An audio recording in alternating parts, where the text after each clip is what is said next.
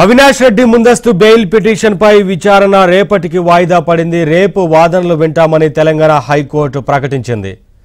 ఇదే అంశానికి సంబంధించి మరింత సమాచారం మా ఏపీ బ్యూరో చీఫ్ రామారావును అడిగి తెలుసుకుందాం. రామారావు అవినాష్ రెడ్డి ముందస్తు బెయిల్ పిటిషన్ పై విచారణ రేపటికి వాయిదా వేసింది కదా కోర్టు. ఏంటి updates? Naveen Kadapa MP YS Avinash Reddy కి సంబంధించిన ముందస్తు బెయిల్ పిటిషన్ వ్యవహారం అంతులేని కథలా సాగుతుంది. నిన్న తెలంగాణ హైకోర్టు ఇచ్చిన మధ్యంతర ఉత్తర్వులను నిన్న సుప్రీంకోర్టు ప్రధాన న్యాయమూర్తి ధర్మాసనం కొట్టివేసింది.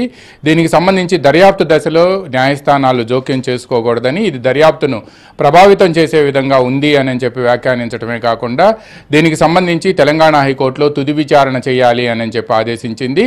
ఈ నెల ఇరవై ఐదో తేదీన తుది ఉత్తర్వులు ఇస్తాము అని చెప్పి ఏదైతే ముందస్తు బెయిల్ పిటిషన్కి సంబంధించి పూర్తి స్థాయి విచారణ ఉందో ఆ విచారణకు సంబంధించి కూడా అప్పట్లో హైకోర్టు పేర్కొంది. కానీ ఈరోజు కొద్దిసేపటి క్రితమే సుప్రీంకోర్టు ఏదైతే ఉత్తర్వులు జారీ చేసిందో ఆ ఉత్తర్వులకు సంబంధించిన పిటిషన్ను సుప్రీంకోర్టు వెబ్సైట్లో కూడా జడ్జిమెంట్ కాపీని అప్లోడ్ చేశారు. కానీ ఈరోజు విచారణ మళ్ళీ రేపటికి వాయిదా పడితే ఇప్పుడు సిబిఐ ఏం చేయబోతుంది? రేపు విచారణకు సంబంధించి మళ్ళా విజయ ఫర్ ఆర్డర్స్ అని చెప్పి ఈరోజు లిస్టులో ఉండగా మళ్ళీ విచారణ ఏమిటి అనే అంశానికి సంబంధించి మనతో మాట్లాడేందుకు ఏపీ హైకోర్టు న్యాయవాది మాజీ న్యాయమూర్తి జడా శ్రవణ్ గారు ఉన్నారు. శ్రవణ్ గారితో మాట్లాడదాం. శ్రవణ్ గారు ఏంటి ఈరోజు మళ్ళా విచారణ వాయిదా పడింది? మీ దగ్గర సుప్రీంకోర్టు ఉత్తర్వులు కూడా ఉన్నాయి. సుప్రీంకోర్టు ధర్మాసనం ఇంటర్ ఆర్డర్స్కి సంబంధించి దాదాపుగా పదకొండు పేజీల సుదీర్ఘ ఉత్తర్వులు ఇచ్చింది. ఇంతకుముందే మా ఢిల్లీ బ్యూరో చీఫ్ కృష్ణ కూడా చెప్పారు. ఈ హానరబుల్ ఎపెక్స్ కోర్ట్ ఇచ్చినటువంటి జడ్జిమెంట్లో ఒక ఒక లైన్ నేను చదివి వినిపిస్తానండి. పేరా థర్టీలో uh, it is only impermissible of the High Court observe that the question questionnaire may also be handed over to the respondent. Such orders of the High Court are liable to be gravely prejudice the course of investigation, particularly at the stage of the at the stage when the CBI is fully investigate the crime and the role of several accused who do not form a part of the charge sheet is submitted. We are of the view that the directions issued by the Honorable High Court that were uh, examined that were uh, unwarranted. See this is what the observation of the honorable supreme court.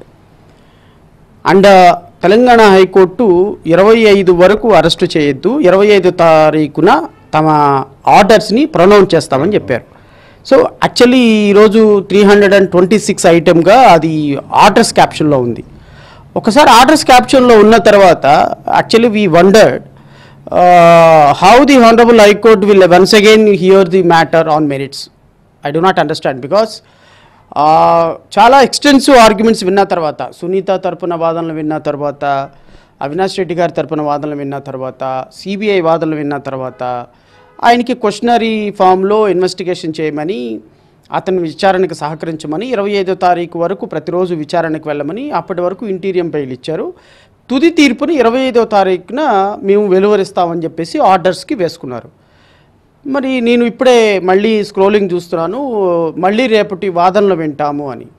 రేపు వాదనలు వినడానికి ఏం మిగిలిందో నాకు అత్తే అర్థం కాల. అంటే ఇప్పుడు సుప్రీంకోర్టు ఏదైతే ఉత్తర్వులు ఇచ్చిందో ఆ ఉత్తర్వులకు సంబంధించి ఏమైనా సిబిఐ కానీ లేకపోతే అవినాష్ రెడ్డి తరపు వాళ్ళు కానీ వాదనలు వినిపించేందుకు ఏమన్నా అవకాశం ఇస్తుందా Telangana high court? Sir the moment ఇరవై ఐదో తారీఖు వరకు సుప్రీం హైకోర్టు అరెస్టు చేయొద్దు అన్నటువంటి అంశము ఇరవై ఐదో తారీఖు ఈ రోజుతోటి హైకోర్టు ఆర్డర్స్ కూడా కంప్లై అయిపోయినట్టే. సుప్రీంకోర్టు ఇంటీరియం బెయిల్ నిన్న ఒక్కరోజు ప్రొటెక్షన్కి ఇరవై నాలుగో తారీఖు వరకు ప్రొటెక్షన్ ఇచ్చినటువంటి అంశాన్ని సుప్రీంకోర్టు దాన్ని సెటిసైడ్ చేసినప్పుడు ఆబ్వియస్లీ అరెస్ట్ కానప్పుడు ఎక్యూజ్డ్కి అరెస్ట్ కానప్పుడు ఇంకా సుప్రీంకోర్టు ఆర్డర్స్ కూడా దీంట్లో ఇంకా మిగులుని అని నేను అనుకోవటంలా. సుప్రీంకోర్టు ఆర్డర్స్ కూడా ఈరోజు హైకోర్టు తెలంగాణ హైకోర్టు జడ్జిమెంట్ వచ్చేసేటప్పటికి ఆటోమేటిక్గా పోయినట్టే. సుప్రీంకోర్టు ఆర్డర్సు తెలంగాణ హైకోర్టులో ఉన్నటువంటి పెండింగ్లో ఉన్నటువంటి యాంటిసిపేటరీ బిహేవియర్కి ఏ విధంగానూ సంబంధం ఉండి తీరదు. ఎందుకు అంటే ఇరవై ఐదో తారీఖున ఈరోజు తుది తీర్పును వెలువరిస్తే ఇంకా ఆటోమేటిక్గా ఇంకా యాంటిసిపేటరీ బెయిల్ లేనట్టే. ఒకే ఒక అంశం సుప్రీంకోర్టులో ఏంది అంటే ముప్పై జూన్ వరకు ఎక్స్టెండ్ చేసినటువంటి అంశం మాత్రమే మిగిలి ఉంటుంది. ఇక ఈ entire observation high court observation supreme high court ఇచ్చినటువంటి ఇంటీరియం బెయిల్కి సంబంధించి కాబట్టి ఇరవై ఐదో తారీఖుతో ఇంటీరియం బెయిల్ అయిపోయింది కాబట్టి ఇక ఈరోజు మెయిన్ పిటిషన్ మీద ఆర్డర్స్ చెప్పాల్సిందే వాళ్ళు.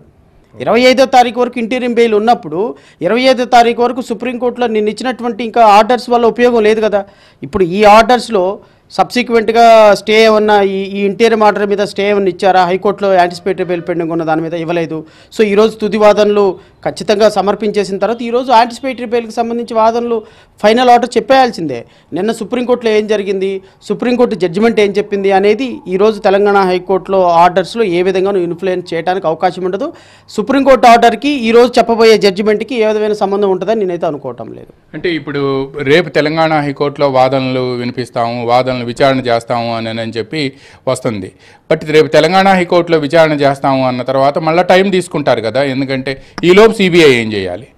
అసలు రేపు తెలంగాణ హైకోర్టులో దేనికోసం వాదనలకి టైం తీసుకుంటారు? దేనికోసం వాదనలు వినిపించాలి? ఇది ఇది ఇప్పటికీ అర్థం కాని ప్రశ్న. ఇంకా what remains to adjudicate Telangana హైకోర్టులో పూర్తి స్థాయి వాదనలు సమర్పించారు. ఇరవై ఐదో తారీఖు వరకు అరెస్టు చేయవద్దు. ఇరవై ఐదో తారీఖున మా తుది తీర్పు వెలువరిస్తామన్నారు. ఈ ఇరవై ఐదో తారీఖు లోపు జరిగినటువంటి పరిణామాలు ఏమైనా ఉన్నాయా మళ్ళీ కొత్తగా వినటానికి? లేవు కదా. సుప్రీంకోర్టు జడ్జిమెంటు అది ఇది on record judgement. Supreme court judgement మీద హైకోర్టు ఏమీ ఇన్ఫ్లుయెన్స్ అవ్వాల్సిన అవసరం లేదు. అది సుప్రీంకోర్టే చెప్పింది. నా ఇన్ఫ్లుయెన్స్ మీద ఆర్డర్ మీద ఇన్ఫ్లుయెన్స్ లేకుండా మీరు ఇండిపెండెంట్గా డెసిషన్ తీసుకోమని. ఈరోజు డెసిషన్ తీసుకోవాల్సిన సందర్భంలో వాయిదా వేయటంలో అంతరం ఏంటనేది నాకు అర్థం కాలేదు నెంబర్ వన్. ఒకవేళ ఈ వాయిదాని మళ్ళీ రేపొద్దున తుది వాదనలు విని మళ్ళీ రేపొద్దున హైకోర్టు ఏమైనా ఆయనకి యాంటిసిపేటరీ బెయిల్ గ్రాంట్ చేయాలి అని అనుకుంటుందా?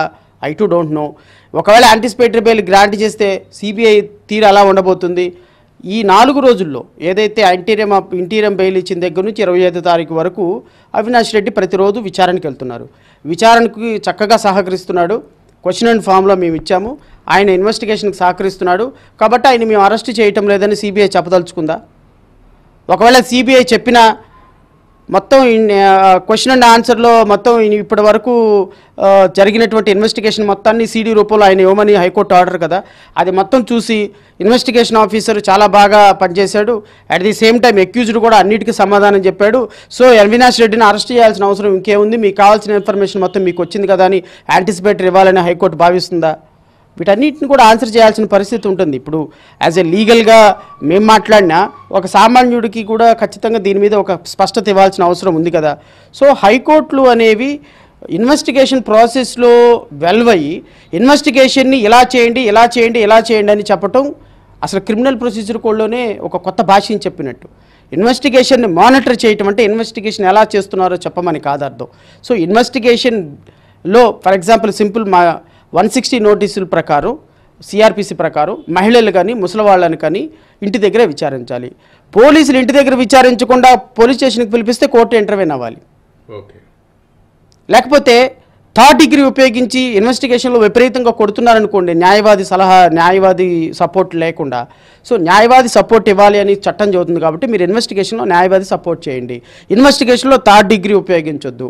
ఇలాంటి చట్టంలో ఉన్న అంశాలని తప్పుగా ఇన్వెస్టిగేషన్ వెళ్తున్నప్పుడు కరెక్ట్ చేయాలి తప్ప ఇన్వెస్టిగేషన్ చేసే విధానాన్ని డైరెక్ట్ చేయకూడదు మీరు. నిన్న హైకోర్టు హానరబుల్ హైకోర్టు జడ్జి గారు చేసిన పని అదే. ఇన్వెస్టిగేషన్ మేనర్ని డైరెక్ట్ చేశారు. అదే సుప్రీంకోర్టు తప్పుపట్టింది. సో ఓవరాల్గా ఈరోజు ఈ ఇన్వెస్టిగేషన్ ప్రాసెస్ని తప్పుపడుతూ ఇచ్చిన జడ్జిమెంట్ కొట్టేసిన తర్వాత హైకోర్టు మరలా రేపొద్దున వాదనలు వింటాము అని రేపటికి వాయిదా వేయటం క్వైట్ సర్ప్రైజింగ్ ఆర్డర్ అండ్ ఈరోజు ఆర్డర్స్ క్యాప్షన్లో ఉన్నప్పుడు రేపటి మళ్ళీ వింటాము అని చెప్పడానికి అంటే అవినాష్ రెడ్డిని అరెస్టు చేయకుండా ఉండటానికి అరెస్టు చేయకుండా ఇప్పుడు యాంటిసిపేటరీ బెయిల్ పెండింగ్ ఉన్నంత వరకు సిబిఐ అరెస్ట్ చేయడానికి ముందుకు రాదు. బికాస్ దే విల్ షో హైకోర్టులో యాంటిసిపేటరీ బెయిల్ పెండింగ్ ఉందని. యాంటిసిపేటరీ బెయిల్ పెండింగ్ ఉండి యాంటిసిపేటరీ బెయిల్ గ్రాంట్ అయ్యి ఆర్డర్ కాపీ చేతికి రాకుండా ముందుగానే అరెస్ట్ చేసేటువంటి పోలీసులు అరెస్ట్ చేసే సిబిఐ ఈరోజు ఆర్డర్స్కి రిజర్వ్ అయి ఉన్నప్పటికీ సుప్రీంకోర్టు కేసు కొట్టేసినప్పటికీ ఇంటీరియం ఆర్డర్ ఎక్స్టెండ్ చేయనప్పటికీ కూడా కొట్టేసినప్పటికీ కూడా అవినాష్ రెడ్డిని అంత నిర్భయంగా వందల మంది కార్లతోటి వదిలేస్తున్నారంటే సిబిఐ ఏమైంది? కోర్టులు ఏమున్నాయి? వ్యవస్థలేంటి సిఆర్పిసి ఏంటి ఐపీసీ ఏంటి? నాకేమైతే అర్థం కావటం లేదు. శ్రావణ్ గారు ఇక్కడ ఒక పాయింట్ చెప్పండి. ఇప్పుడు ఇదే కేసులో వైఎస్ భాస్కర్ రెడ్డిని అవినాష్ రెడ్డిని ఇద్దరి మీద అభియోగాలు ఉన్నాయి వాళ్ళిద్దరినీ కూడా మేము అరెస్ట్ చేస్తాము అని చెప్పి తెలంగాణ హైకోర్టులోని ఇదే సిబిఐ అఫిడవిట్ వేసింది ఎప్పుడు ఉదయ్ కుమార్ రెడ్డిని అరెస్ట్ చేసినప్పుడు వేసింది. అంతకుముందు సునీల్ యాదవ్ బెయిల్ పిటిషన్ అప్పుడు కూడా అఫిడవిట్ ఫైల్ చేసింది.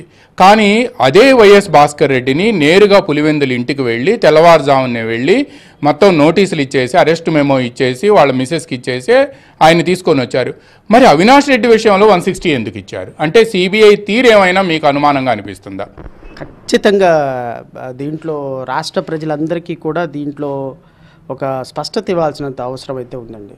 ఎందుకంటే క్రైమ్ అనేది ఒక ఇంటికి సంబంధించిందో ఒక వ్యక్తికి సంబంధించిన అంశం కాదు. ఒక వ్యక్తి మర్డర్ చేయబడ్డాడు అంటే ఆ వ్యక్తి మర్డర్ చేయబడినటువంటి వ్యక్తి చట్టం ముందు దోషిగా నిలబడేంత వరకు సమాజంలో ప్రతి ఒక్కరూ కూడా పోరాడాల్సిందే. ప్రతి మీడియా పోరాడాల్సిందే. ఇది ఈరోజు ఒకరికి జరిగింది ఇంకొక కుటుంబంలో జరుగుద్ది. ఈ రోజున సెంట్రల్ బ్యూరో ఆఫ్ ఇన్వెస్టిగేషన్ యొక్క తీరు అత్యంత అనుమానాస్పదంగా ఉండటానికి కారణం ఏంటి అంటే రామారావు గారు శ్రవణ్ కుమార్ గారు కలిపి ఒక వ్యక్తిని మర్డర్ చేయడానికి ప్రయత్నం చేశారు. ఇద్దరం కూడా నిందితులకు ఆశ్రయం ఇచ్చాం. ఇద్దరం మీద కూడా ఒకే ఎలిగేషన్ ఉంది. శ్రవణ్ కుమార్ని అరెస్ట్ చేయకుండా రామారావు గారిని అరెస్ట్ చేస్తే వాట్ డస్ ఇట్ మీన్ తండ్రి కొడుకులు ఇద్దరి మీద వాదనలు ఒకటే ఇద్దరి మీద ఎలిగేషన్స్ ఒకటే ఇద్దరి మీద వాళ్ళ మీద సిబిఐ చేస్తున్న ఆరోపణలు ఒకటే. వీళ్ళిద్దరూ నిందితులకు ఆశ్రయం ఇచ్చారు. వీళ్ళిద్దరూ కూడా ఎవిడెన్స్ని డిసప్యూర్ చేయడానికి ప్రయత్నం చేశారు. వీళ్ళిద్దరూ కూడా అంటే మెంబర్ ఆఫ్ పార్లమెంట్కి ఏమైనా ప్రివిలేజ్ ఉందండి? చట్టంలో ఏమైనా ప్రివిలేజ్ ఉందా? మెంబర్ ఆఫ్ పార్లమెంటు నీ తండ్రిని అరెస్ట్ చేసి కొడుకుని అరెస్ట్ చేయకుండా ఉండటానికి కారణం ఏంటి? అంటే సెంట్రల్ బ్యూరో ఆఫ్ ఇన్వెస్టిగేషన్కి కేంద్రం నుంచి ఏమైనా ఆదేశాలు ఉన్నాయా? లేకపోతే ఇక్కడ జగన్మోహన్ రెడ్డి దగ్గర నుంచి ఏమైనా నో అబ్జెక్షన్ కావాలా? అరెస్ట్ చేయడానికి? లేకపోతే అమిత్ షా దగ్గర నుంచి నో అబ్జెక్షన్ కావాలా? ఏం కావాలి? ఈ రోజున వాళ్ళ తండ్రి భాస్కర్ రెడ్డి మీద ఉన్నటువంటి ఎలిగేషను అండ్ అవినాష్ రెడ్డి మీద ఉన్న allegation same one sixty notice ఇచ్చి మీరు నిన్న Telangana high court interim bail application ఇవ్వడానికి ప్రధాన కారణం సిబిఐ వన్ సిక్స్టీ నోటీస్ ఇచ్చింది కాబట్టి అతనికి ఇంటీరియం అప్లికేషన్ ఇంటీరియం బెయిల్ ఇస్తున్నామని చెప్పేసి ఆర్డర్లో రాశారు. So one sixty notice CBI వాళ్ళు ఇచ్చి సాక్షిగా విచారిస్తున్న కారణంగా అతనికి బెయిల్ దొరుకుతుంది. అసలు కోర్టుల్లో బెయిల్ దొరకటానికి పూర్తి స్థాయిలో వాదనల రూపంలో సహకరిస్తుంది సెంట్రల్ బ్యూరో ఆఫ్ ఇన్వెస్టిగేషన్. నిన్న ఇంటీరియం అప్లికేషన్ బెయిల్ ఇచ్చినప్పుడు సుప్రీంకోర్టుకి వెళ్ళాల్సింది ఎవరండి? సిబిఐ కదా. సిబిఐ ఎందుకు వెళ్ళలేదు? సరే పోనీ సునీత వెళ్ళింది. సునీత గారు వెళ్ళినప్పుడు సునీత గారు కేసు వేసింది కదా మన వాదన కూడా వినిపిద్దామని ఏమైనా సిబిఐ వాళ్ళు ఏమైనా వాదనలు వినిపించారా? వాదనలు వినిపించలేదు. స్- నా నా నా ప్రిడిక్షన్ అనండి లేకపోతే నా అనుమానాలు అనండి లేకపోతే ప్రజల అనుమానాలు అండి. Central bureau of investigation Avinash రెడ్డిని అరెస్ట్ చేయకుండా ఉండటానికి లూప్ లైన్స్ లీగల్గా ఎన్ని ఉన్నాయో అన్ని విధాలుగా ఆయనకి సహకరిస్తుంది. థ్యాంక్ యూ అండి ఇది మనం చూస్తున్నాం తెలంగాణ సుప్రీంకోర్టు తెలంగాణ హైకోర్టు ఇచ్చిన మధ్యంతర ఉత్తర్వులపై సుప్రీంకోర్టు ఇచ్చిన ఉత్తర్వులు జడ్జిమెంట్ ఇది. మొత్తం దాదాపుగా పదకొండు పేజీల జడ్జిమెంట్ ఇచ్చింది.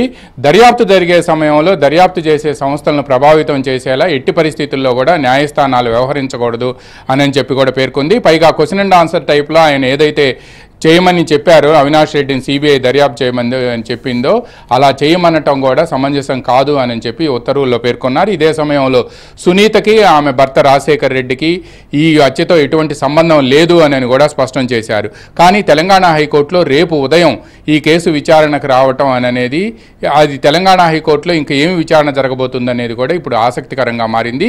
ఇదే అంశానికి సంబంధించి ఇప్పటిదాకా హైకోర్టు న్యాయవాది జడా శ్రవణ్ గారు చెప్పిన విషయం కూడా మనం విన్నాం. ఆయన మాజీ న్యాయమూర్తి న్యాయమూర్తి కూడా. ఈ కేసులో సిబిఐ కావాలనే లూప్ లూప్ లైన్లో ఉంచేందుకు ఈ కేసు మొత్తాన్ని కూడా అవినాష్ రెడ్డికి న్యాయపరమైన అవకాశాలు ఉపయోగించుకునేందుకు వీలుగా సిబిఐ చేస్తుంది అనేది కూడా ఆయన అభిప్రాయంగా ఉంది. Naveen over to Hyderabad studio